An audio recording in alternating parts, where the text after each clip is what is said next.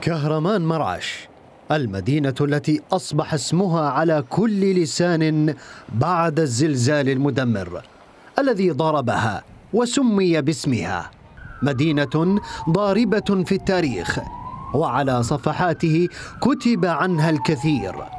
فتغير اسمها تارات عدة حتى سميت بالبطلة قبل أن تحمل لقب المنكوبة في جنوب تركيا.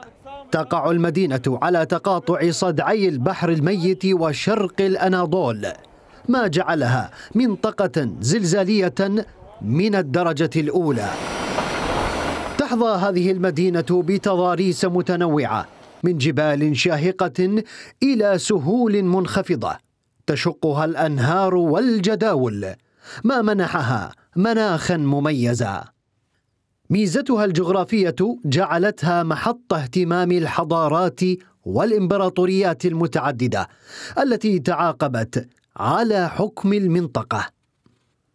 وفي العصر الحديث لقبت مرعش بكهرمان أو البطلة بعد مقاومتها الاحتلال الفرنسي لتركيا لتصبح أول مدينة محررة عام 1920